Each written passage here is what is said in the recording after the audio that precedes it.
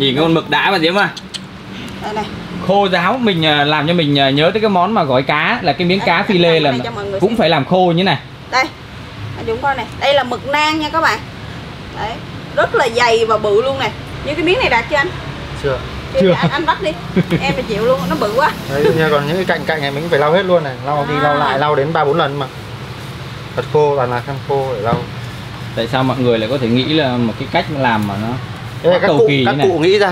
Các bọn cụ. em chỉ xài thôi ở Quảng Ninh ai cũng biết mà. Ở Quảng Ninh thật sự là ai cũng biết làm. Qua cái tổ ờ, đập đập với chiên xong rồi mình còn một cái tổ rất là đặc biệt nữa nha các bạn là tổ bánh cuốn. Tại vì ờ, bánh cuốn chả mực mà. Thì có chả mực rồi thì phải có bánh cuốn. Mà ở đây thì ờ, Diễm thấy là người ta sử dụng một cái đường dây chuyền này luôn này để ờ, tráng bánh cuốn luôn nè lần đầu tiên mình à, đi ăn bánh cuốn các bạn ạ. À, hơn 30 năm cuộc đời lần đầu tiên thấy à, máy tráng bánh cuốn. Trước giờ toàn thấy à, tay à, tráng thủ công không à Xin chào tất cả các bạn. Rất vui được gặp lại các bạn trong video tiếp theo của mình. Hiện tại thì à, mình và Diễm đang có mặt tại à, đường Nơ Trang Long, quận Bình Thạnh nhé các bạn. Hôm nay thì à, mình sẽ cùng với tất cả các bạn khám phá một trong những món ăn mà rất là quen thuộc Nhưng mà với một cái tên gọi mà mình nghĩ rằng là nhiều người ở Sài Gòn hiện tại còn chưa biết Đó là món bánh cuốn. Nhưng món bánh cuốn ngày hôm nay sẽ khác biệt hoàn toàn so với những món bánh cuốn mà trước giờ mình từng ăn. À, ngay cả à, tại à, quê hương Thanh Hóa của Phạm Dũng thì à, rất là nổi tiếng về bánh cuốn rồi. Nhưng mà ngày hôm nay lần đầu tiên mình và bạn Diễm cùng với tất cả khán giả kênh Phạm Dũng sẽ được ăn món bánh cuốn chả mực Hạ Long. Thì biết là khi mà nói tới à, bánh cuốn chả mực thì à, bạn Diễm có tò mò lắm bạn Diễm. À, xin chào cả nhà nha Thật ra thì chả mực Hạ Long ấy là một cái tên món ăn mà rất là nổi tiếng rồi. Nhưng mà bình thường là mình à, sẽ ăn chả mực chiên chấm với tương ớt. Hoặc là nếu mà có biến tấu thì cái chả mực nó sẽ xuất hiện ở những quán bún đậu mắm tôm. Nhưng mà bánh cuốn và chả mực thì bản thân Diệp cũng chưa hình dung ra được là uh, người ta sẽ biến tấu như thế nào ta. Ờ, thực sự là cái món ăn này đã xuất ở, xuất hiện ở Sài Gòn một thời gian gần đây rồi. Ờ, nhưng mà do là mình à, đi xuyên Việt nên là tới ngày hôm nay thì mình mới có duyên review giới thiệu tới à, khán giả kênh Phạm Dũng. Và chị chủ quán ở đây thì phải nói là rất là yêu quý kênh Phạm Dũng luôn. À, suốt mấy tháng rồi nhưng mà chị vẫn là à, kiên trì là chờ đợi anh em mình để tới ngày hôm nay để thưởng thức được. Thì mình ờ, rất là cảm ơn chị ờ, chủ quán à, chị Yến rất là nhiều đã mời team Phạm Dũng tới để thưởng thức cái món à, bánh cuốn chả mực. Thì bây giờ mình sẽ đi vào bên trong quán để tìm hiểu nha. À, Mà cái khu vực này cũng là là thiên đường ẩm thực luôn nha các bạn. Ở đây thì à, có hàng chục à, món ăn khác nhau các bạn. Từ à, cơm, bún, phở, rồi cháo lòng Hay là rất là nhiều món ăn bình dân khác nữa. Nhưng mà à, chắc là cái món bánh cuốn chả mực này sẽ là cái món à, vô cùng lạ đấy. À, địa chỉ ở đây là 351B nơi Trang Long. Và quán này thì thực ra là chị chủ đây là một khán giả ở kênh Phạm Dũng. Thì như anh Dũng lúc nãy chia sẻ là à, nhờ chị à, nhắn tin ấy chị nói là có cái món này lạ. Tụi mình bảo là có duyên có dịp thì tụi em sẽ tới. Chứ à, thật ra là bình thường thì bữa giờ đi xuyên về các bạn là chưa có thưởng thức món này. Bây giờ mình sẽ đi vào bên trong quán để à, tìm gặp chị chủ quán này. Chào anh. Em chào anh Mời cả nhà vào Dạ Chào à, chị. mà thấy à, đây là À, đây có phải là chị Yến hay không? dạ vâng đúng rồi ạ ôi À, cái câu này nói ra thì cũng hơi kỳ nhưng mà thực sự là cái tên chị chủ quán là cho mình cảm thấy rất là gần gũi tại vì mẹ mình cũng tên Yến luôn. Ê, nhưng mà sao trắng dữ vậy trời Đâu em đen bớt đi ở đây vào đây là làm việc vất vả quá À, vào đây tức là có nghĩa là chị từ Hạ Long vào đây à Vâng em là người Hạ Long ạ người Hạ Long Ồ. nhưng mà vào đây là được bao lâu rồi chị? Em mới vào đây được ờ, gần nửa tháng thôi À gần Gần- nửa năm nhầm Gần nửa năm. vâng. Thế thì tại sao là chị Yến lại biết tới kênh Phạm Dũng? Ờ, Bởi vì là gia đình em cũng hay xem ờ, trên Youtube á À. Nên là em biết tới anh Vâng Thế Em- thì ờ, ờ, phải cảm ơn chị Yến rất là nhiều đã mời team Phạm Dũng tới để tìm hiểu về món bánh cuốn chả mực ngày hôm nay. Thì ờ, chị cho em hỏi là trong ờ, suốt nửa năm mà mở quán ở đây thì ờ, cái cái tiếp nhận của khán giả à, của thực khách ở Sài Gòn như nào? Ờ, ban đầu thì mình cũng chưa hiểu hương vị của người Sài Gòn đâu Nhưng mà sau khi ờ, trò chuyện và chỉnh sửa theo khẩu vị của mọi người Thì bây giờ khách họ cũng khá là ưng cái vị ờ, chả mực của bên em À. Đó và có những người thì ờ, hợp nhưng mà có, có những người lại không. Nói chung là làm dâu trăm họ thì nó cũng khó nói lắm. Thế là tức là ngay từ đầu thì cũng phải là chưa phải là mọi người thích liền mà Dạ phải điều vâng. chỉnh từ từ. Vâng đúng rồi. Tất cả là mình tìm hiểu. Nhưng mà tại sao chị lại quyết định là chọn Sài Gòn để vào gọi là mở cái cái món này chị hả? Bởi vì ờ, đơn giản là em thấy trong Sài Gòn chưa ai bán món này đâu. Chưa bán. Đúng rồi thật sự là em đi quay mấy năm qua thì em cũng chưa nghe cái món này. Dạ và thì em muốn là người bắt chen đầu tiên. Vậy thôi vâng Thế thì ờ, có hồi hộp lắm không chị? Ờ, cũng không hồi hộp đâu bởi vì mình xác định tâm thế là mình sẽ làm hết sức mình còn nếu mà không được thì không có gì cả không được không Vâng. Thế thì cho em hỏi là ngoài cái bánh cuốn chả mực ra thì ở đây mình à, còn có món nào của Hạ Long không chị hả? hiện tại em mới có món mới là bún hải sản Ờ, đấy là một món ờ, nổi tiếng Hạ Long đấy Đúng rồi. Lần trước mình ra mình cũng ăn món đó đấy anh Dũng. Ờ, nhưng mà chị Yến cho em hỏi là chị ở chỗ nào của Hạ Long em ở anh có biết ờ, núi Bài Thơ không? Núi Bài Thơ. Có. hình như là trên đỉnh núi là có một ờ, di tích đúng không chị nhỉ? Đúng rồi đấy. Thì ờ, đấy vợ chồng em là ở đấy. Vậy thì chị phải gần ngay chỗ gọi là đường bao à, cái đường bờ bao Ờ, ven vâng, Hạ Long. ờ, đi ra ngoài ngay gần đấy là đường bao biển và chợ Hạ Long thì ở ngay cạnh gần núi Bài Thơ đấy. Đường Rồi. bao biển là tuyệt vời luôn nha các bạn, cực kỳ đẹp luôn. chị là ở trong một ờ, những nơi là đẹp nhất Việt Nam rồi đấy nhưng mà vẫn quyết tâm là vào Sài Gòn lập nghiệp. Ờ, vâng Hạ Long thì rất là đẹp nhưng mà để mà lập nghiệp thì nó cũng là tùy duyên vâng. Gọi là Nhưng mình mà- ờ, hợp duyên với chỗ nào nữa? Có vâng. một cái em thắc mắc thế thì ờ, nếu mà gọi là chả mực Hạ Long thì mình sẽ sử dụng. Thứ nhất là công thức là ở Hạ Long rồi chứ không nói nhưng mà có cái nguyên liệu nào mình lấy từ Hạ Long vào không chị? tất cả những nguyên liệu ở bún hải sản và chả mực là em nhập từ Hạ Long hết. Có những người chào hàng em là lấy mực ở đây ở kia ở kia nhưng mà em không thể lấy được bởi vì mực Hạ Long ấy nó có một vị ngọt tự nhiên. Vị ngọt đặc trưng đó mà tí nữa nhà mình thưởng thức thì sẽ cảm nhận được. À, tức là mình dùng cái mực tươi của Hạ Long. Dạ vâng dùng mực tươi Hạ Long để xay 100% luôn thế thì hy vọng là hôm nay mình tới mình tìm hiểu là và biết đâu đó là bạn Diễm có thể dụ dỗ chị là dùng cái mực của Phan Diễm xem là có được Nhà không? em là chuyên mực không ngọt không lấy tiền. Để em nào nếu mà Hạ Long mình gửi vào đây mà tốn phí cước bay cao quá thì cứ qua bên em lấy. Hoặc là xong rồi chị dùng mực của em xong em bán trả mực cho chị. Ờ, quá hợp lý luôn. Em Thế thì bây giờ mình đi rồi, tìm hiểu đi. nhiều nơi rồi. Dạ. nhưng mà hình như chị Yến là đang có em bé à Vâng, em đang có bầu. Ô, Ờ, mấy tháng? mấy tháng? rồi Ờ, được 6 tháng rồi ạ. Ôi chúc mừng ạ. Thế là đã biết là trai hay gái rồi. Con gái ạ wow. Rồi, thế là phải xin bía xin bía Ờ, thế nhà mình lên tầng nhá để ờ, xem quy trình làm chả mực Ờ, làm ở trên tầng hả? Vâng nhà em làm trực tiếp trên tầng. Ờ, còn thế ở dưới đây là sẽ làm hàng đi nha. thế thì mình sẽ đi lên lầu xem à, làm à, chả mực như thế nào nha bột gạo mình xay ra hả chị? Mình phải mở nắp ra như này nếu lên trên này là em ngửi thấy cái mùi của cái cái gạo ngâm vâng đúng rồi. Là đây là những cái thùng gạo ngâm hả chị? Ngâm mình cuốn đúng rồi nhá. Tình cờ là ngày hôm nay mình mới được ăn cái món à, bánh lá. bánh lá của Thanh Hóa. Thì cái gạo trước khi xay là cũng phải ngâm như này bạn Diễm này. À em hiểu rồi. Ngâm cho cái hạt gạo nó mềm ra sau đó mình mới bắt đầu xay đúng không ạ? Xay bột cái này là đã xay rồi xong mình vẫn vẫn phải ngâm nữa. Ồ, À. đấy ngâm để ngày mai làm thôi. Nói chung là cái này nó không phải là chuyên môn của em mà sẽ là em trai em làm. À, Mà mà là không giải thích được nhiều lần đầu tiên Diễm biết là bánh cuốn mà số lượng nhiều người ta phải ngâm bột qua đêm thế này luôn các bạn ạ. Là bột tươi gạo tươi nên là yên tâm luôn. Vâng đúng rồi. Cái này mà đậy lại nó sẽ bị chua không làm được. Phải luôn mỏ ra thôi. Nó có một cái mùi thơm nhẹ của cái gạo ngâm gạo xay. Nữa. còn đây là mực tươi nhà em. À. Nhập từ Hạ Long vào. Cái điều đầu tiên khi mà mình lên đây là mình cảm thấy rất là thoáng luôn. Vâng. thoáng và sạch các bạn. Còn à, nguyên liệu thì à, sẽ có cái mực này. à, xin phép tắt quạt một xíu nha. Con mực này hơi giống à, mực của bạn Diễm ha. Cái này mình sử dụng là mực lá hay mực nang. Mực nang. Ôi ôi cái này dày lắm các bạn. Ở đây là hành à, nó giòn hả? hành tỏi này. Chắc là cho hàng tỏi Lý Sơn đây là tỏi cô đơn khổng lồ này bạn Diễm này. Tỏi cô đơn. Mà Phan Diễm ở Lý Sơn thì nó chỉ khoảng ngón tay cái là to rồi các bạn ạ. Hôm nay là tới tiệm của chị rất nhiều cái duyên luôn từ cái cách làm cái gạo này rồi à, cái củ tỏi này hay cái tên của chị chủ quán này làm cho mình cảm giác rất là thân thuộc bạn Diễm ha nhưng mà mọi người cho em hỏi chia sẻ là cái mực này thì bây giờ để mà làm ra được cái chả mực thì mình phải xay hay là mình sẽ làm như thế nào ạ? Mực thì nhà mình phải lau khô.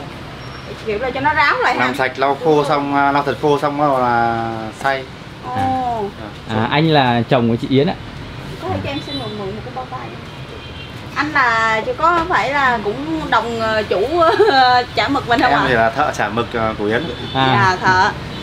Thật ra là à, diễm muốn à, mượn một cái đôi bao tay để diễm cho các bạn xem được là cái con mực ở đây thực sự nó rất là bự luôn các bạn ạ nó rất là to luôn. Đây đây. Còn các anh là cũng đang à, chuẩn bị à Vâng, này chuẩn bị. Em xin. Ở đây là em à, thích cách mọi người giữ gìn cái vệ sinh chung á. Vâng. Sạch. Sạch sẽ. À, mọi người sẽ yên tâm.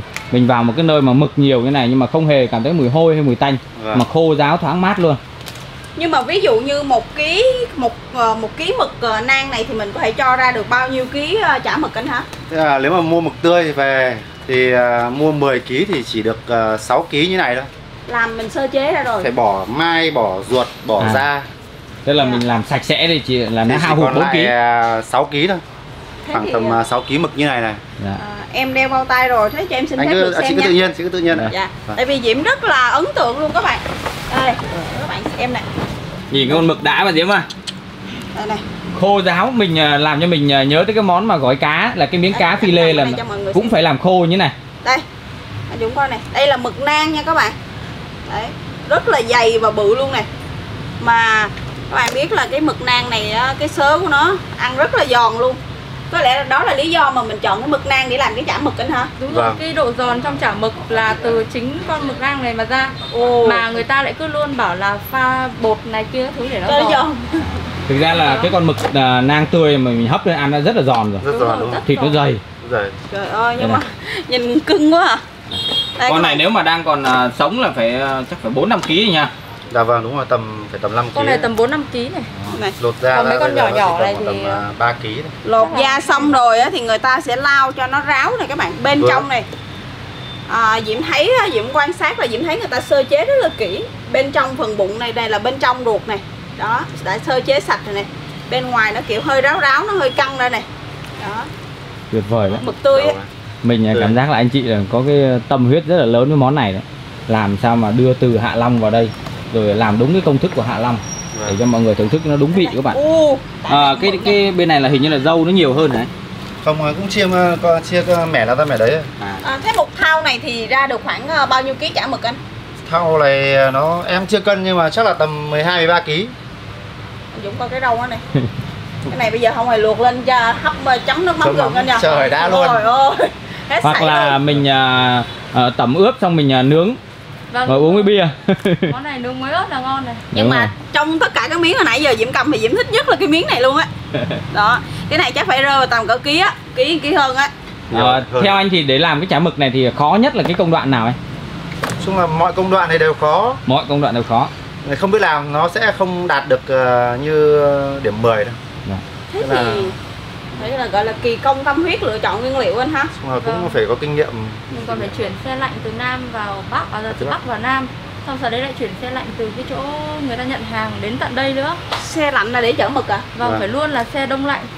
Ờ. Chuyển từ Bắc vào Nam đi mấy ngày liền. Thế Phải mực mình nào phải để đây như thế mà vẫn ờ, nó chưa có mùi hôi gì luôn ấy. Vừa ra đông xong là bây giờ phải làm luôn ấy. thế thì tính ra là cái chi phí cho một cái chả mực này nó sẽ rất là cao và tới bây giờ là anh chị Là vẫn dùng mực ngoài đó đưa vào chứ không Và lấy mực phía trong này. Chuyển Nhà vào. Ấy. em chỉ trung thành 100% mực từ Hạ Long đưa vào đây để làm thôi. Anh chị là có bỏ xì chả mực không? Nhà em có chứ. Nhà em là hiện tại là đang ờ, bán lẻ cho khách Dạ. Còn xỉ cho cơ sở 2 à. Tất cả nguyên vật liệu cơ sở 2 là từ cơ sở 1 cung cấp. Bạn Diễm là đã nhìn và thấy một món đây đấy. Nhà em là xin giới thiệu với anh chị nhà em bán bia nữa. À, à, à? thêm cái chả mực này chiên lên thì hết sảy. Vâng. nhưng mà các bạn coi này đã không Diễm thì à, nhìn khi mà anh chị nói là anh chị sử dụng cái mực nang này thì Diễm biết là Diễm sẽ không chào hàng được rồi không chào hàng cái mực được rồi tại vì nhà Diễm là chuyên mực lá mực ống các bạn ơi. À. Còn cái này thì làm chả mực thì anh chị sẽ sử dụng cái mực nang này thứ nhất là nó bự. Đó và nhiều yếu tố khác nữa.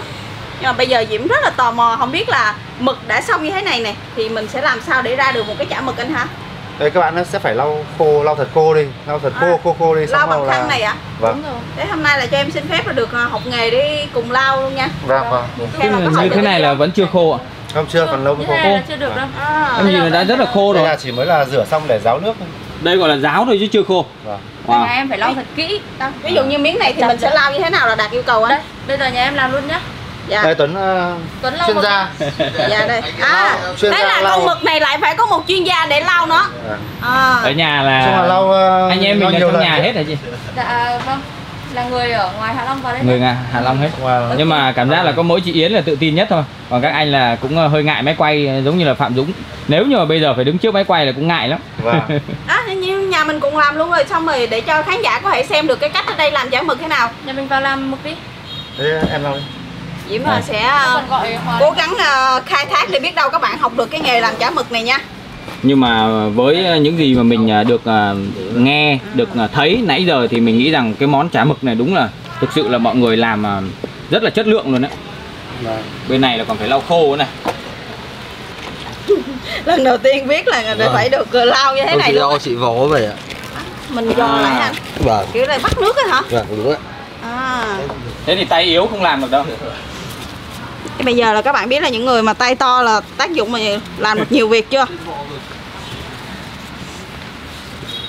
Đấy, tại như sao thế nó này lại là được phải chưa? phải khô hết nước như này anh nhỉ không còn một chút độ ẩm nào bên ngoài cái con mực luôn tại vì à, à, mình để nó ướt ấy, thì đến lúc mà xay ra cái chả nó nhão à, À. nó phải dẻo nhất có thể phải khô nhất có thể để để à, Như cái miếng này đạt chưa anh? chưa Chưa. Anh, anh bắt đi. em phải chịu luôn, nó bự quá. Đấy, như còn những cái cạnh cạnh này mình phải lau hết luôn này lau đi À. lau lại lau đến ba bốn lần mà thật khô toàn là khăn khô để lau tại sao mọi người lại có thể nghĩ là một cái cách làm mà nó Quá các cầu cụ kỳ các cụ nghĩ ra Các bọn em cụ. chỉ xài thôi ở Quảng Ninh ai cũng biết mà ở Quảng Ninh thật sự là ai cũng biết làm Ồ, hồi đợt em đi cái chợ gì mà Chợ Hạ Long à? Dạ đúng rồi, chợ mà ven cái đường ờ, ven Vâng. biển đấy anh. vâng vâng Thì phải nói là thiên đường chả mực luôn. đấy đấy có hàng gọi là vài trăm cửa hàng luôn. Thế thì nhà anh đã bao giờ bán ở chợ Hạ Long chưa? Nhà mình không bán ở chợ mà nhà mình ở đấy là toàn bán cho người quen. À. Ai quen ăn thì à, đặt. Ờ, làm theo cách là hộ gia đình. Gia đình. Đây các bạn nhìn này. Khăn trắng khăn sạch là lau khô ráo từng ờ, ngóc ngách một của con mực. Nên là anh phải có cái quạt lớn để ờ, hỗ trợ thêm đấy. Đúng rồi có nhưng mà quạt. mình nhờ tắt để cho nó đỡ ồn đấy. Vâng vâng Xong rồi mới bắt đầu xay ha anh. vâng Ăn này cũng cực quá ha. Ai mà nếu mà không biết làm sao biết là làm cái chả mực này mà phải nói là như tập thể dục luôn ấy. anh chị là có mấy bé rồi Đó, em có à, bé này bé thứ hai bé thứ hai bé đầu là trai gái à, hai bé đều là gái wow. Bây giờ là nhiều người họ thích con gái lắm anh ạ.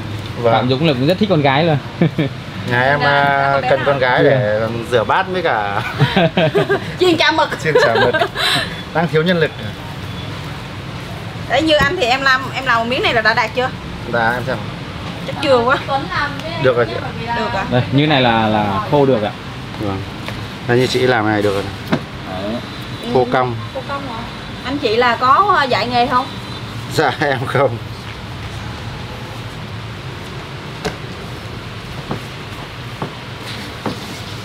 chả mực này mỗi nhà thì đều có một cái hương vị riêng. Thực sự là và ra ra Hạ Long các anh chị ăn đa số thì hương vị nó chỉ ờ, gần nhau giống nhau đến 7 80 phần trăm còn lại ờ, ngon với cả ngon xuất sắc thì nó khác nhau luôn. Thế thì theo anh là ờ, anh là có kinh nghiệm bao nhiêu năm trong việc làm chả mực này rồi? em nhà em á nhà em cũng gọi là ba đời làm chả mực. Ba đời làm chả À, nhưng mà mực toàn làm ăn thôi làm để nhà ăn thôi. Nhà tôi- bà em đã làm rồi bà em rồi mẹ gì ăn làm làm để ăn thôi Dạ. cũng giống như là à, món gỏi cá hay là món à, nem chua chẳng hạn vậy các bạn nhé Ừ. thì à, người ở địa phương đó thì gần như gia đình nào ai cũng biết biết làm. làm nhưng mà mỗi gia đình lại có một cái Một cách kiểu. làm khác nhau vâng Đấy Ừ. đúng rồi đấy. Về Thanh Hóa là cùng là nói cái mang danh là nem chua Thanh Hóa nhưng mà mỗi một lò, mỗi một nhà lại một kiểu làm khác Đúng nhau rồi, nha các bạn. vâng. Nên nhiều khi hỏi là cái nào ngon nhất thực ra tùy vào đánh giá của cái khách hàng Dạ. thôi đúng không mình hợp khẩu vị ở đâu với lại cái quan trọng để đánh giá thì Diễm thấy là sẽ đánh giá về cái nguyên liệu. Đó là cái quan trọng thôi. Ban ngày thì à, cân mấy trăm ký tỏi xong rồi giờ chiều về đi bóp chả mực các bạn. Anh mỏi tay à không ờ, các bạn nên làm chuyên em bình thường không làm À. đây, đây đây đây lau hộ anh đầu ấy. Ở đây à, tuyển các à, chàng trai tay to. Tay to. Để lau mực. Nhưng mà em thấy ở ngoài chợ ấy ở ngoài chợ Hạ Long là cũng thường là các anh cơ bắp để làm chả mực đúng không anh? Nói chung là thực sự ấy là không bao giờ giã đủ. Anh ấy làm cho đẹp thôi. Tại vì bọn tay là không nổi. ví dụ như mấy anh em em mà giã chắc là 5 cân thì giã cả ngày. Không được đâu chị ạ chị cứ thử mà thử phải dùng máy 5 cân thì thôi bóc mới làm mới giã thì cả ngày. Chẳng qua là các anh ấy làm cho đẹp thôi. Dạ. còn nếu mà cần ấy, thì người ta giã bằng máy. Bây giờ có cả máy giã. Tức là anh bên này là sẽ lau xong rồi chuyển qua anh bên này lau lại lau lại. Ờ, mới đưa vào đây. Rồi là kiểm tra qua hai bước luôn. Dạ. mình cứ nghĩ là người nào lau của người đó nhưng mà một con mực sẽ qua tay hai người. Ít nhất là hai người để lau khô. Dạ. Vừa còn trước đó trước đó khi mà con mực đang còn đầy nước thì còn à, kỹ hơn nữa. Vâng có một bà bà Thế đã là làm. hai anh này khỏi phải đi tập gym này. Khỏe luôn gì hết.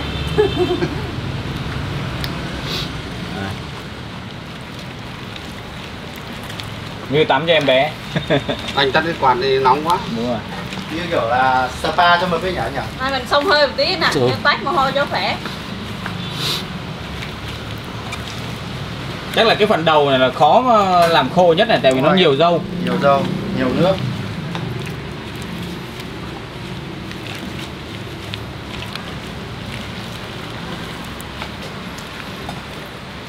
Hay nhỉ. Hy vọng là các bạn khi mà ăn miếng chả mực thì nhớ tới các anh đang lau con mực này. Quá kỹ các bạn. Đấy chưa đâu còn bên này nữa người bình thường thì cứ nghĩ như này là khô lắm rồi. Đúng là nó sẽ ảnh hưởng tới à, nếu mà nó nhão thì nó sẽ làm miếng chả mực nó không ngon anh đúng không ạ. Nó- nó- cái độ khô của miếng chả mực á. Vâng, nó không dính lại đúng không anh? Vâng.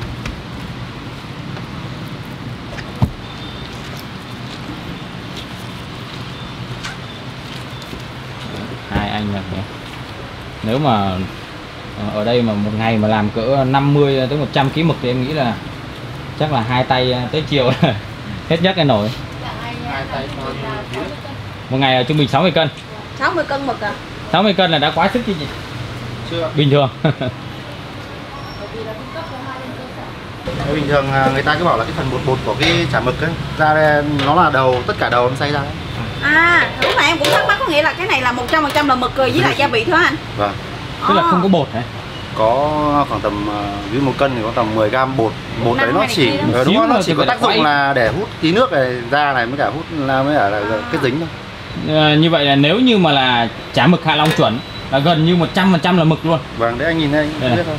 bây giờ anh sẽ xay cái đầu trước và cái ờ, mình thì xay sau cái này là xoay nhuyễn luôn hay sao anh Vâng, xay nhuyễn luôn ạ. à Đây còn cái chỗ kia thịt mình thì mình mới là cho nó Vâng. khúc Thì mới so hạt lựu sau.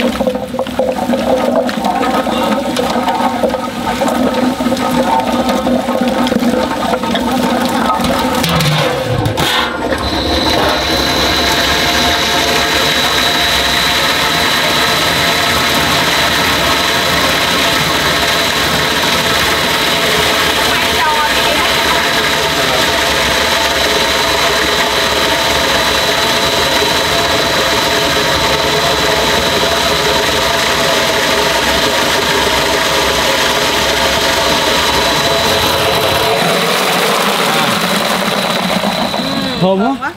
này kia ha hành phi ít cái hành củ chứ đấy trắng thau trắng như là cái um, cái bông gòn hoặc là đơn giản là trắng như là cái trái um, ờ, hả? mãng cầu ấy bạn biết mà cái ruột trái mãng cầu ấy Đấy, rất là thơm nha tại vì cho- trong này là có hành tỏi rồi có các cái ờ, đồ Đầu nêm rồi thêm vào đây em ơi. Đầu đầu đầu. mình lại cho đầu vào xay tiếp ha. Còn thì cho vào. Thế Nãy giờ là anh mới lau được mấy miếng này nữa này Đấy là mẻ khác hay mẻ đấy đấy? Đấy. xong là lau đầu trước xay rồi. đầu trước rồi mới tới cái mình mình là vẫn cho vào trong này luôn hay sao anh Mình à, khi xay này nhuyễn xong nó cho mình vào. à. lao từng cái cọng rau luôn các bạn Ừ, thế là cái phần mà mình à, ăn mà nó không có giòn ấy là cái phần đầu xay nhuyễn Đầu xay thật nhuyễn mới gia vị. Cái chứ không phải là bột luôn nha các bạn Không có bột. 10 gram trên 1000 gram thì nó là tỷ lệ bao nhiêu nhỉ? một à, không mấy. phải mấy Thì như không phải một phần trăm à? chỉ có 10 gram bột trong một ký ờ, mực thôi Bột đấy chỉ Một tác ký chả mực. là gọi là kết dính nước. Tức là sau khi mình lau khô rồi thì mình vẫn cho vào một chút bột để xem là sao? nó còn chưa cái nước nào thì nó thấm nốt đi Đây là mình xay ra thấy nó vẫn còn hơi nhão nhão này. à. như này là Vâng. cũng chưa đạt lắm hả Chưa đạt. vẫn thời cho cái kia vào mới xay tiếp mà đúng không anh Vâng, phải cho bột. à, hôm nay là có team Phạm Dũng quay nên là các anh à, lau à, chưa được đạt lắm các bạn ạ chứ bình thường còn phải lau lâu hơn ba nữa lần, bốn lần đấy. ừ. Cái máy xay này mua nhiều tiền không anh? À, 40 triệu ạ. là giá trị của thiết kế cái này các bạn.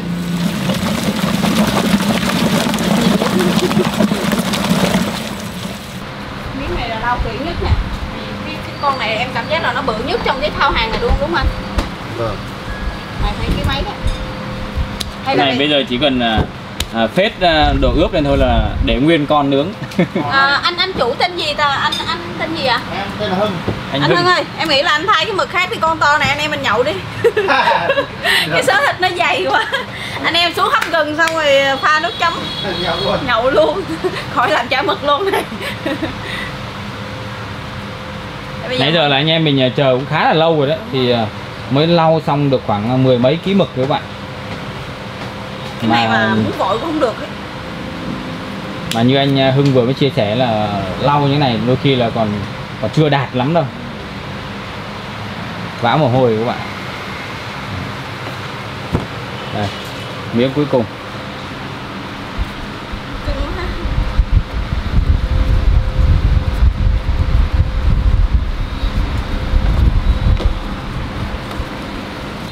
với ờ, kinh nghiệm đi ờ, review hải sản thì bạn Diễm nghĩ là con mực là độ tươi là bao nhiêu bạn Diễm? Độ tươi là tuyệt đối đó.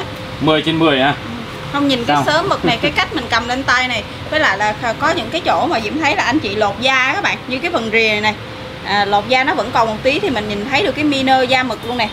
Với lại là diễm nghĩ là một cái chả mực mà nếu mực không tươi ấy, thì cái chả ăn là coi như không không không không đạt. Ăn là người ta sẽ cảm nhận ra được liền con phải thả cái này vào xong rồi là xay thêm trước một lượt nữa xe, liệu đó các chị có thả không?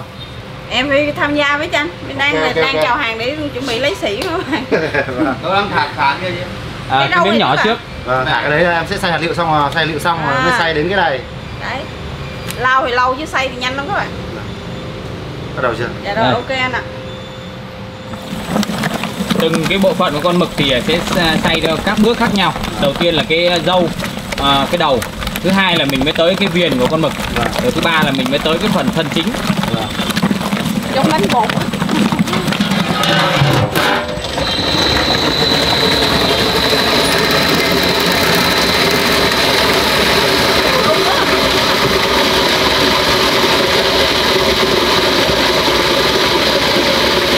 Nó bột quá nhiều mặt. Cái hành, cái tỏi như này nó thơm lắm.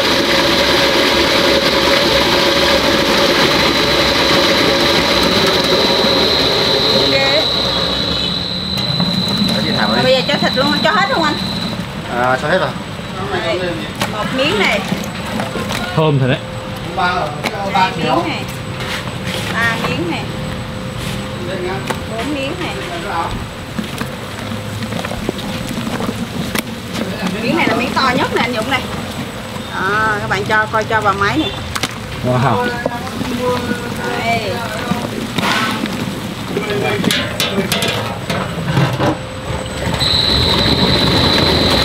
Nó có măng mặn không anh? Bắn ra ngoài bẩn là hồi đầu nó đẩy bắn hết ra đây Mình đang rất là tò mò biết bên trong nó này.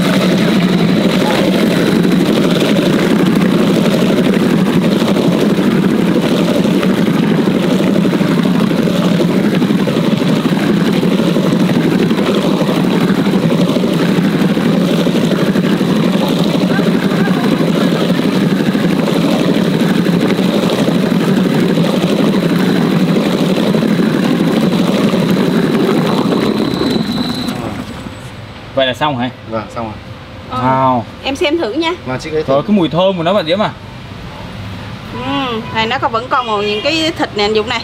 Đó, em mua số 20 cái gọi là xay à, không giả nha. Nhưng mà tới lúc này là Diễm cảm nhận được cái độ kết dính của nó này. Đó, các bạn thấy nè. Đây này.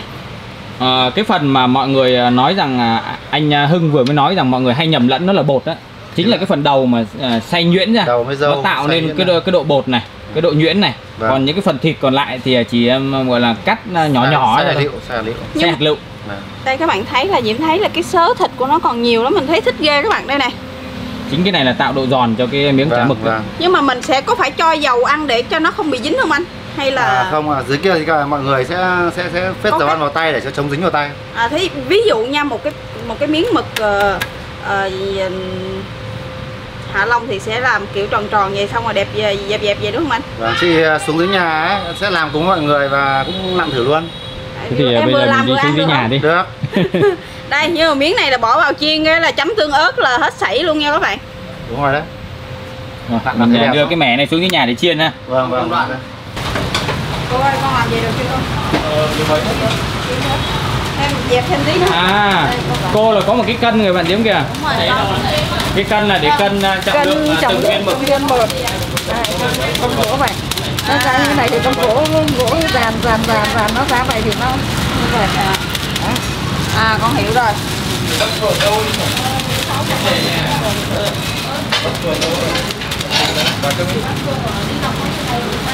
Ở dưới diễm là cái này à, hay nắng bánh canh đó các bạn. Bánh canh bột gạo đó. Thì bây giờ mình cũng sẽ đẹp và đập để cho nó dẹp dẹp vậy luôn này Nó tròn tròn này Chưa được. Chưa được. Dạ cho nó tròn đều. được bạn Diễm có cảm nhận được là à, mọi người làm theo rất là nhiều quy trình mà nghiêm ngặt luôn. Kỳ công của tâm huyết dạ cô ơi vậy thì được chưa con cô không mời cho vào đây ạ nhưng mà cho như này không phải để như này con phải để nó ra cái này phải con bỏ xuống rồi nó không bị bỏng. Đấy rách rồi chưa được. À, cứ rách là không được cô hả? Cô khó lắm các bạn ạ nhìn thấy là cô không đây là tổ trưởng của cái khâu nắng này là gắt lắm. Phải làm đẹp. Dạ ăn mới thấy ngon dạ à mình làm đẹp thì khách ăn mới ngon cô hả khách ăn rồi còn phải mắt nhìn cảm nhận cái đẹp dạ mực là một cái à, nguyên liệu rất là đắt tiền nên là à, từng cái viên trước khi mà nặn ra để miếng chả mực thì đều phải cân cho nó đều trọng lượng nhau hết miếng mực bé thì 30 gram to thì 60 gram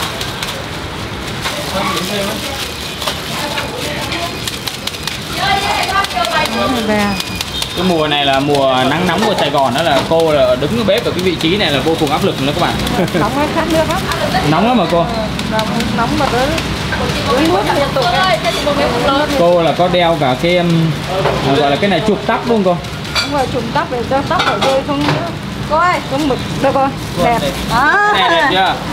Đấy cho cái mới làm mới đẹp hơn này ngày mai à, xuống phụ cô một ngày nhá à. Cô cứ cho con là nắng hai miếng này là được ăn một miếng là ok cô ạ đây đây con bảo này con để như này như này con để nhẹ vào cái lòng bàn tay này thả Dạ. cái vành thả một cái nhẹ vậy.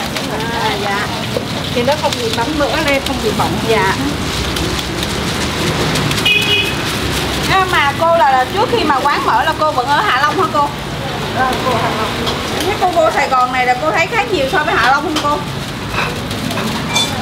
Ờ, mỗi nơi nó một khác Long nó nó mát mẻ sạch sẽ hơn nhưng mà ở đây thì là đông người hơn Dạ bán hàng thì là chỗ nơi đông người vẫn tốt hơn nó chạy hàng hơn ở ngoài kia ngoài kia khi nào mà có khách du lịch cái gì đông còn những cái ngày bình thường thì cũng không đông lắm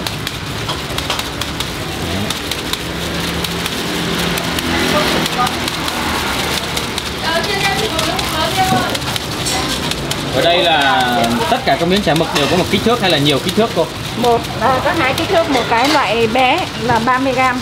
À. là bán đầy đủ còn cái này là bán chả mực bán mấy một cuốn chả mực. Tức là sẽ có hai cái size của cái viên size. chả mực. Đúng rồi. Một loại à, nhỏ một loại lớn. Một loại nhỏ một loại lớn. loại nhỏ là 15 nghìn một miếng loại to là 30 nghìn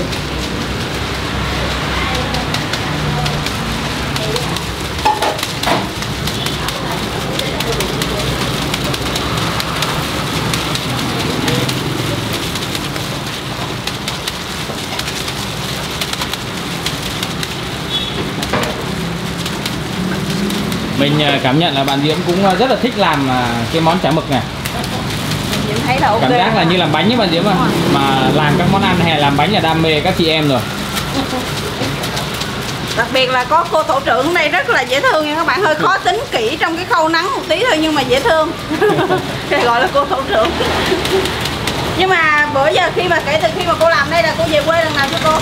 đó thế cô vẫn về quê chứ Dạ. dạ. đi vào 14 hay 14 mới vào trước giờ là cô đã từng à, vào Sài Gòn chưa cô? Cô vào nhiều rồi. Nhà cô, dạ. Cô vào nhiều rồi. Vào nhiều rồi nên là cũng không có nhớ nhà lắm cô nhỉ? Đúng rồi. Tại vì cô có cũng có nhiều người nhà trong này à.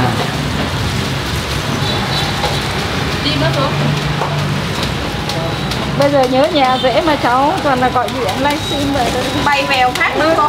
Rồi về tới rồi. Nhớ thì à, gọi video không thì à, mình à, sắp xếp thời gian mình bay về mình có thể là bay từ Sài Gòn ra Quảng Ninh luôn mà. Sân bay Vân Đồn các bạn. Đúng rồi.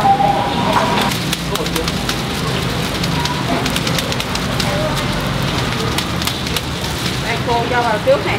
Để lượt con này. Đấy chồng con được chồng được chịu. Chiên khoảng bao lâu là được cô? Nó có cả thấy nó vàng là được. Thấy vàng là được. Đặt nhẹ hai mặt là được. Người ta bán nó phải trao lại. Nữa Cô ơi con là con thấy thích công đoạn này cô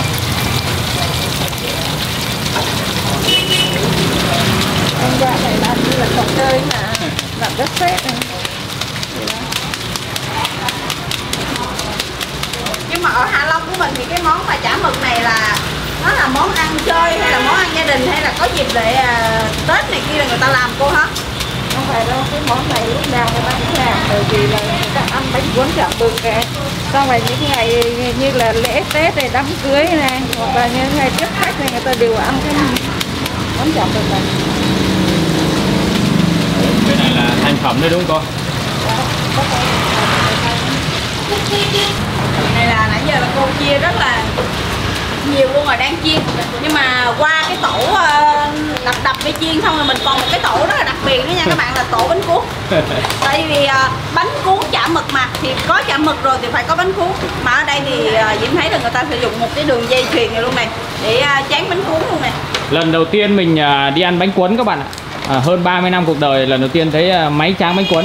Trước giờ toàn thấy à, tay à, tráng thủ công không à nhưng mà cái máy này là gần như là làm toàn bộ mình chỉ việc quấn lại thôi đúng không chị Yến? Vâng đúng rồi. Tại sao mình lại quyết định là dùng cái phương pháp này mà không phải tráng thủ công gì? Bởi vì ờ, khi em từng đi ăn thủ công thì đợi chờ rất là lâu. À. Mà khách ăn sáng thì nhu cầu người ta là phải nhanh để còn đi làm.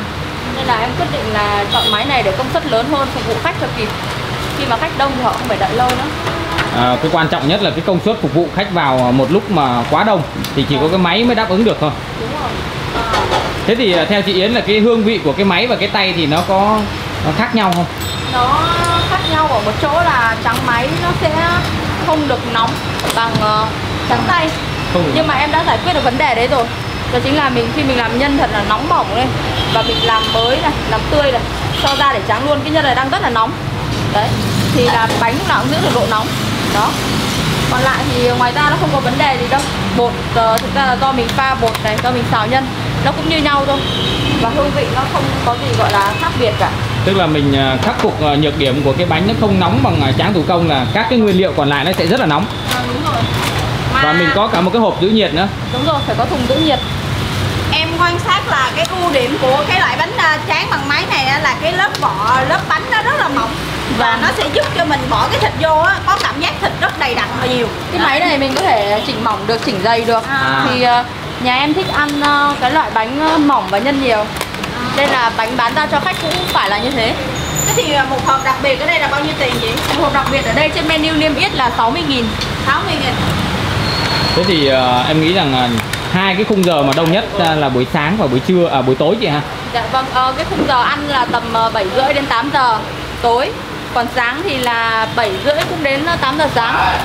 Là những khung đấy là cao điểm. Nhưng mà anh à, anh anh trai là ở đây có khi nào mà lỡ mà bánh nó trôi nhanh quá là mình không kịp bỏ thịt không anh? Có lúc chứ gì? Vẫn phải bỏ đi. Cái đấy mình sẽ bỏ lên dưới dưới cầm kia. Em mà anh, anh để ý xem cái dĩa nào. Của em anh cứ hút cái thịt đấy cho nó đầy đặn tay một tí. Có ai có một đĩa tôm thịt nhá nhìn hấp dẫn lắm các bạn có đĩa trong đấy rồi Ờ, ở đây là em thấy là khách mua hộp mang về này. À, chị Yến chỉ cẩn thận tới mức mà à, ngay cả cái hộp mang về trước khi đưa cho shipper thì chị cũng bỏ vào cái thùng giữ nhiệt luôn. Vâng đúng rồi bởi vì là người ta mua mang đi rất là nhanh nên là mình phải ờ, kịp phục vụ người ta người ta đợi lâu người ta sẽ khắc phục chị Yến mình gọi bằng chị thôi nhưng mà phải nói rất là giỏi bạn nhỏ hơn Diễm tới mấy tuổi lận ấy Ủa? Diễm sinh năm uh, em sinh năm 98 thôi 98 98 á? Nhỏ hơn Diễm tới 4 Thế là bạn Yến là nhỏ tuổi hơn mình và Diễm cũng khá nhiều đấy. chồng em thì lớn hơn em 15 tuổi. Wow.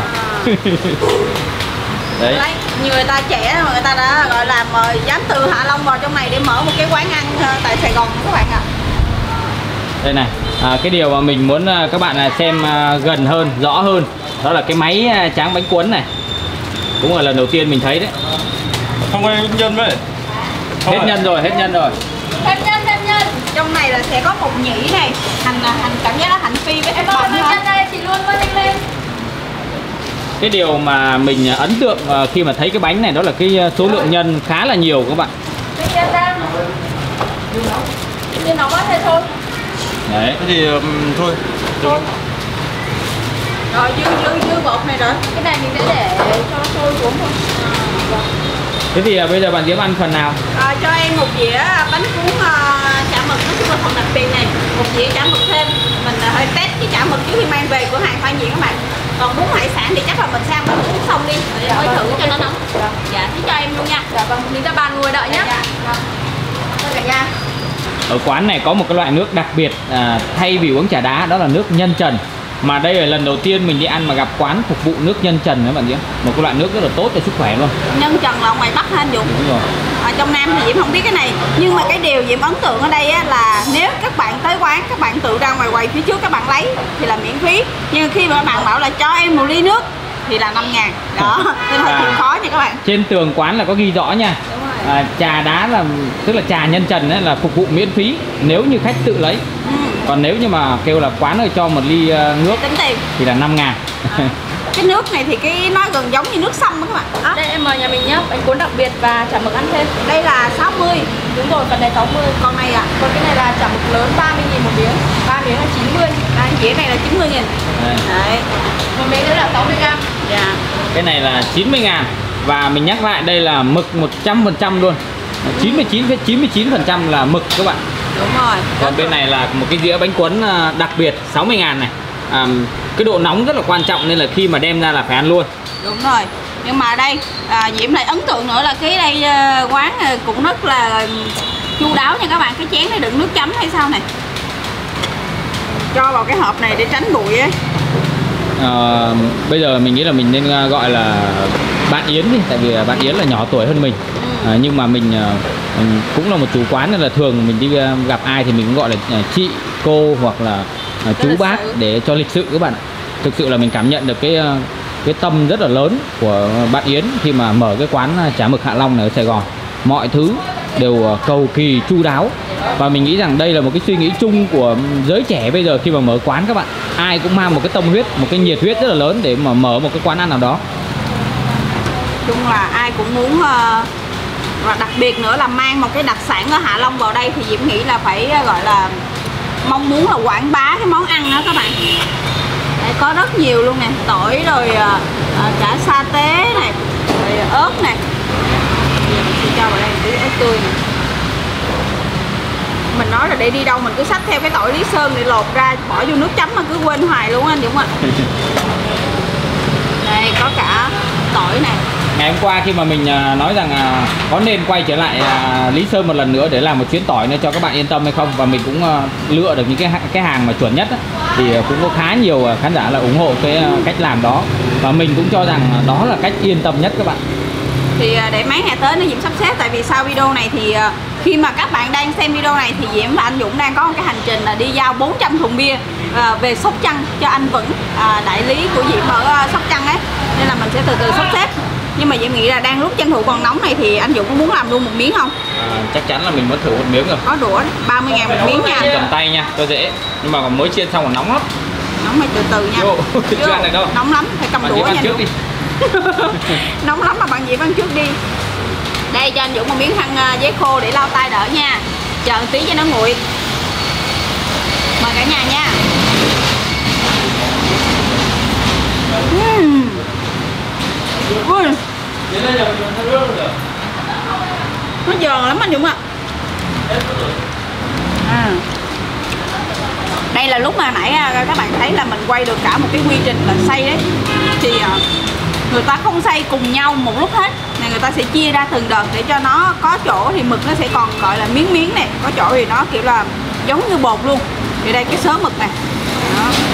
Thì sẽ cầm tay nha hơi nóng một tí đấy. Rồi mình sẽ xé cho các bạn xem.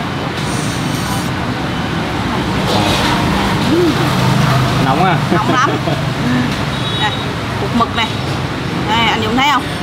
Tới ngày hôm nay thì mình mới biết rằng là trong cái món chả mực hạ long này gần như là không có một chút bột nào chỉ có mấy gam bột thôi Ừ. trong một một ký chả mực. Mình cứ nghĩ rằng là cái lớp mà để nó bọc cái ờ, cái mực giòn giòn cái miếng mực ờ, hạt lựu á, là bột cơ nhưng mà không ngờ là nó hoàn toàn là mực hết. Đôi khi là mình vẫn nhầm lẫn nếu như mà chưa tìm hiểu kỹ bạn. Mặc dù ăn ra cũng khá là nhiều rồi. Cái này mà nhậu với bia là hợp lý nè. Uhm, rất sắc ha. Ngon. Đây, mình à, à anh Dũng thử miếng nhỏ nha. Chiên mới chiên xong nóng lắm các bạn. Mời các bạn nha. Đây. Ăn hay hay bạn cái này Diễm cảm giác là uống bia là hợp lý. Trời ơi. Ngon đúng không? Ngon xuất sắc. Giòn. Dai thơm. Và đậm đà. Đậm đà tại vì hồi nãy á à, mỗi lần xay là anh đều ướp nha các bạn. Đều cho gia vị vào. Ừ. Còn đây là cái dĩa bánh cuốn này là 60 ngàn. 60 ngàn thì trong này sẽ có cả ba miếng chả này. Đó các bạn thấy này rồi à, có một miếng chả mực này nha. Tại vì riêng cái chả mực này không là bán rẻ là, là 30 ngàn rồi. Một miếng chả mực như thế này. Rồi à, giá trụng này một tí quế. Với lại là ba thanh à, bánh cuốn. Mà cái bánh cuốn ở đây các bạn Các bạn nhìn thấy không? Do là người ta sử dụng cái vỏ này khá là mỏng Cho nên là nhân à, thịt thì mình thấy rất là rõ luôn này. Cho vào đây chấm luôn nha. Và cả nhà nha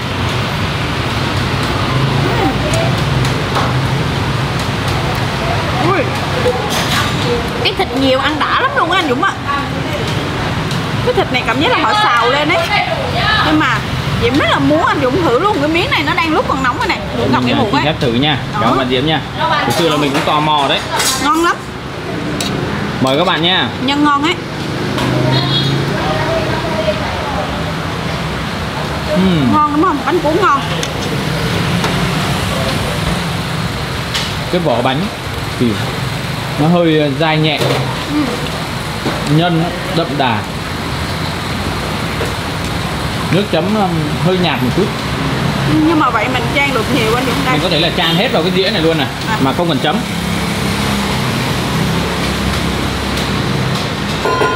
Tùy các bạn các bạn muốn chấm muốn chan gì cũng được nha. Đây có cả giá này hành phi này. Ừm, miếng này nhiều hành phi là thơm lắm nè mời cả nhà nha. Ừm, tiếp theo là món à, Đây mời cả nhà bún hải sản. Món này là món mới đúng không chị? Sau cái món chả mực? Món này mới ra được ờ, mấy ngày. Còn bên cơ sở 2 thì là đã bán được một tháng rồi. Nhưng mà chị ơi Dạ cái à, bề bề này là mình mang từ à, Hạ Long vào luôn ạ. Cũng là bè bè Hạ Long luôn. Ừm, Đây là mình ăn sẽ có một vị ngọt đặc trưng như là chả mực. Ừm. bề bề hạ long. Ờ, chả mực ờ, trong này có chả mực không chị? Trong này nếu mà mình ăn tô đặc biệt sẽ có thêm chả mực. Đây là tô bình thường. Còn đây là tô bình thường 50k thì là không có chả mực. Cá này là cá gì vậy chị? Cá này là cá riêu hồng chiên đấy chị. À, diêu hồng chiên. đây là cá diêu hồng chiên này. Có chả lá lốt nữa này Chả lá lốt ba con à, hai con bề bề này. Ba con. À, Ba ba, con con, bề. Bề. đây đây đây ba con. Tôm. Đậu hũ chiên tôm. Tô này là bao nhiêu chị? Tô này là 50 50 50 ngàn. Vâng. Ủa, nếu mà 50 là tô này là quá hợp lý luôn. Thực ra là mình cũng muốn bán giá không quá mắc mà cũng không quá rẻ bởi vì là đồ ăn của nhà mình cũng là hàng chất lượng. Ừm, không tô 50 ngàn cho một tô ờ, bề bề bún như thế này thì Diễm thấy rất là hợp lý luôn các bạn. Mà cho em hỏi thêm cái hành phi là nhà mình tự tự phi à? Cái hành phi này là nhà thuê người khác tự phi cho nhà em. Rồi, Bao. rồi họ sẽ làm mang đến cho em. Đấy còn à, mắm mặn nhạt gì ấy thì mình sẽ nêm ở đây. À. có mắm mặn này đường này và đầy đủ gia vị để mình nêm theo khẩu vị cá nhân. Nhưng mà hành phi ngon thơm chị đây là đang giờ cao điểm đấy. Dạ vâng đúng rồi. À, các bạn thấy là à, hồi nãy mình có nói là cái nước mắm bạn Diễm chấm nó hơi nhạt thì đúng là quá chu đáo luôn. Chị có sẵn một cái lọ nước mắm cốt luôn để mình pha vào nếu như mà cái lọ này nó nhạt. Ừ. mắm cốt vừa nấu. Ừ. em thì là thích cái này nè Ờ, cái vị mắm thanh thanh này là thực ra là vị miền Bắc. Bọn em đã chỉnh nó đậm hơn nhiều so với hồi đầu rồi. Còn lại thì ờ, nó vẫn chưa thể đậm đà bằng người trong đây ăn được Thì thế nên là tốt nhất là để họ tự nêm theo khẩu vị là nhà em đã chuẩn bị sẵn thay gia vị ở đây. Tại vì chịu theo hết 100% thì khó vậy ha. Vâng. nên là lúc đầu mình gặp chị chị có nói là trong quá trình làm hơn 6 tháng vừa rồi là vừa làm vừa điều chỉnh luôn. Dạ vâng, đến bây giờ thực ra là nhà em vẫn luôn muốn điều chỉnh cho nó càng ngày càng tốt lên. Thế nên là luôn luôn là anh Hưng sẽ hay nói chuyện với khách rồi hỏi ý khách À. Đấy để điều chỉnh theo vị của người ta. Mà đây bà chủ này cũng cảm giác rất là cá tính nha các bạn. Tâm huyết cảm giác rất là tâm huyết. Mà em hỏi thật này là hôm nay là bầu 6 tháng này đúng không? Là có mệt lắm khi mà vận hành cái quán này? Ờ, trộm vía là em lại không bị mệt mỏi gì cả. Không Làm mệt. việc bình thường. Đó là Cách con ngoan là Vâng, đúng rồi, phải có tiền thì mới nuôi được con. Cảm ơn à, cảm chị Yến nha. Vâng, ngon nói chung cả nhà là ngon miệng Dạ. nhé Diệp Diệp cảm nhận được. Thật ra thì nói ờ, nó ngon tuyệt đối hay không thì nó sẽ khó cho cái câu nói đó, tại vì ờ, ẩm thực mà các bạn mỗi người một khẩu vị. Nhưng mà qua tất cả cái khâu thì các bạn thấy là sự ờ, tâm huyết này trong một cái món ăn ờ, Hạ Long tại Sài Gòn. Cái hành phi ở đây cũng là hành phi ngon nha các bạn. Ừ. Mình nghĩ rằng à, mọi thứ ở đây khi mà mình ăn ở trên bàn nó là chất lượng 5 sao à, chỉ có một chút ở cái không gian nó là một cái không gian rất là bình dân ở Sài Gòn thôi. À, có thể đó là một phần do là chị mới khởi nghiệp nên là cái không gian quán chị cũng chưa có lựa chọn được cái không gian nó ưng ý. Nhưng mà về cái phần món ăn cái phần nguyên liệu thì nó là 5 sao các bạn. Chả ngon nha anh Dũng. Còn hai miếng chả chiên này. đó rồi này đó hai bạn thấy cái thớm mỡ trong này này nhưng mà Diễm thì Diễm rất là thích cái phong cách mà bánh cuốn này này dù là người ta cuốn bằng máy thôi nha các bạn nhưng mà cái hương vị của cái nhân ấy nó làm cho cái bánh rất là ngon luôn. Rồi có cả kèm cả giá này. À, một tí quế. Bạn có thể chan cái nước mắm này lên này.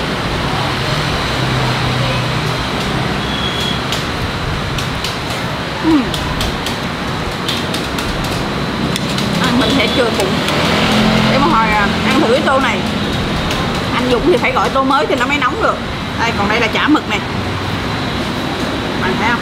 Thực sự là cái chả mực này nếu như mà ai ở Sài Gòn mà à, thèm cái chả mực thì có thể tới đây ăn là mình tin rằng các bạn sẽ rất là hài lòng thôi dạ dạ. chấm tương ớt nha. Cái miếng này cho anh Dũng đi. Vô. Các bạn Diễm nha. Nó đợi là đỡ nóng rồi đó vô. Cái này mà có một tép tỏi nữa. Ừ. Ừm. ngon quá. Diễm sẽ cắn thử một miếng để à, không chấm tương ớt cũng nha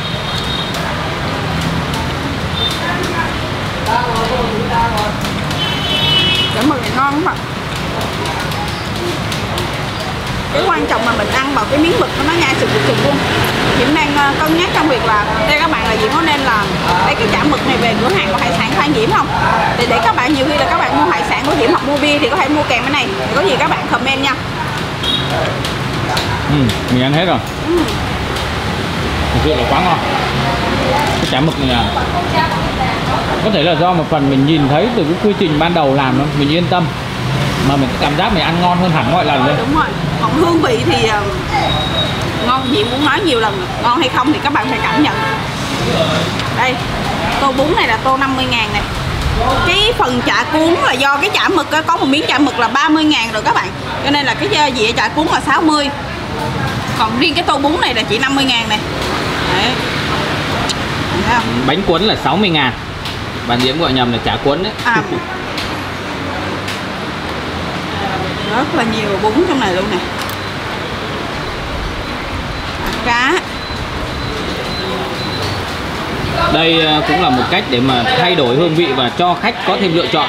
Ví dụ như là mình ăn một quán quen mà lần nào vào cũng ăn một món ấy, thì đôi khi là mình có thể là mình chán.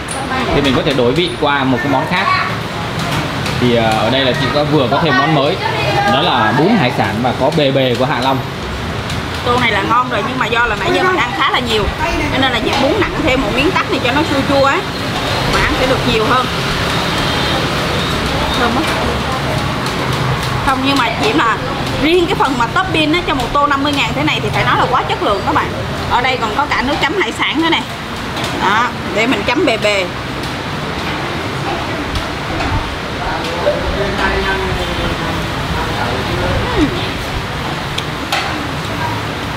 Chất thơm. Ngọt thịt. Anh Dũng có muốn thử một con bề bề này không?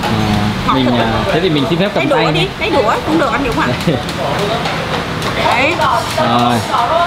Cảm ơn bạn Diễm. Mời các bạn nha. Đây có cả con bề bề nữa này. Ừm. Nó dai không bị bở. Nhai kỹ thì sẽ cảm nhận được cái độ ngon và thơm.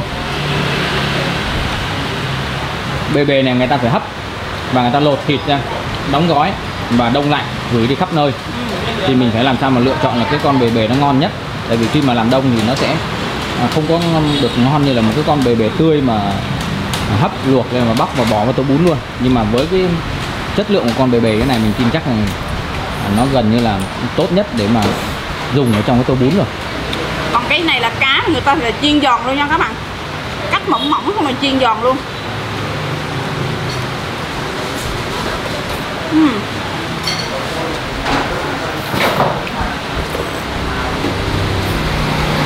thực sự là buổi chiều á, ăn một tô này là thử ứ hự luôn no ứ hự luôn, không ăn gì được nữa luôn các bạn tại vì trong này thì topping cũng nhiều nhưng mà cái bún người ta cho vào nó cũng nhiều. Uhm. còn đây là miếng bò lá lốt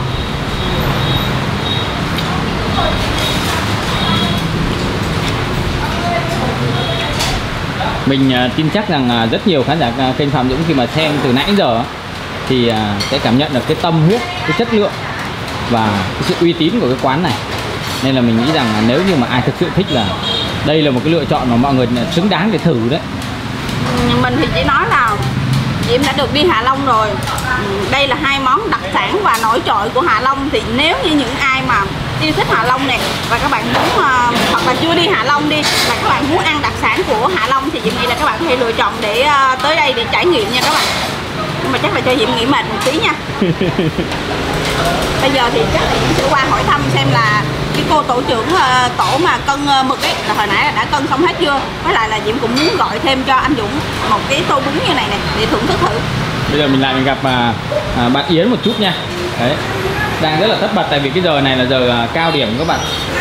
Đấy, và bầu 6 tháng mà rất là lanh lẹ luôn nên là hồi nãy là chị Yến có nói là không hề mệt một chút nào hôm nay là có duyên tới đây là đầu tiên là chúc cho quán mình là lúc nào cũng ờ, đông khách này và có thể trở thành một địa chỉ ờ, ờ, nổi tiếng về đặc sản của Hạ Long tại thành phố Hồ Chí Minh và cái quan trọng hơn hết là chúc cho mẹ bầu là à, mẹ tròn con vuông này khỏe mạnh và em bé xinh xắn đó. À, bạn Yến có thể chia sẻ một chút là cái cái, cái gọi là cái mong muốn hay là cái à, kế hoạch của mình à, đối với cái thương hiệu à, bánh cuốn chả mực Hạ Long này à, cho khán giả Phạm Dũng biết không? Hiện tại thì ờ, em mới mở cơ sở 2 là 117 Huỳnh Mẫn Đạt, phường 7 quận 5 thì em mong muốn là mọi người sẽ biết đến quán đấy nhiều hơn. Còn uh, cơ sở này thì uh, cũng bán được lâu rồi Và cũng có một lượng khách ổn định rồi. Thì nó cũng giống như là cơ sở sản xuất thôi. Đó, thì em cũng mong muốn là mình phù hợp với lại khẩu vị của người Sài Gòn Và phục vụ được nhiều khách nhất có thể. Chỉ đơn giản vậy thôi. À, thế mẹ bầu ờ, chia sẻ lại địa chỉ số điện thoại đi nếu mà mọi người muốn đặt à, một hai tô bún về ăn. Ờ, nếu mà mình lấy địa chỉ số điện thoại thì em nghĩ là nên quay lại cái ờ, à, địa chỉ trên à, ờ, chủ nhiều khi không nhớ số nào đâu. Đúng rồi. thì nó sẽ tốt hơn. Là bởi vì khi người ta xem người ta sẽ lưu được lại. Chứ nhiều khi mình đọc người ta cũng không thể lưu lại được. Đây là chủ cá tính lắm các bạn. Ê, cảm ơn à, Yến nhiều nha Dạ hôm nay là một cái trải nghiệm cũng ờ, rất là vui và hy vọng rằng ờ, đây cũng sẽ là một video mà các bạn ờ, thứ nhất là giải trí và cái thứ hai nữa là nếu mà các bạn yêu thích cái hương vị này thì có thể là trải nghiệm thử xem là quán này có hợp khẩu vị của các bạn hay không nha. À, ngày hôm nay là một ngày mà mình nghĩ rằng mình lại có thêm một cái nội dung mà nó đặc biệt để dành cho khán giả kênh Phạm Dũng xem giải trí. Và mình à, hy vọng rằng à, nếu như các bạn đang xem clip này mà ở Sài Gòn thì à, nếu có thời gian thì các bạn cứ ghé đi ăn thử nha. Mình à, tin chắc rằng các bạn sẽ rất là hài lòng với quán này. Còn clip này thì mình cũng xin kết thúc ở đây. Xin chào và hẹn gặp lại tất cả các bạn nha bye bye. Nha, còn sau đây là 30 giây quảng cáo dành cho hải sản Phan Diễm. Nếu mà các bạn yêu thương Phan Diễm thì hãy ủng hộ những mặt hàng của Phan Diễm để mình có thêm một tí kinh phí để đi quay những địa điểm ẩm thực, du lịch, chia sẻ với khán giả của kênh Phạm Dũng nha.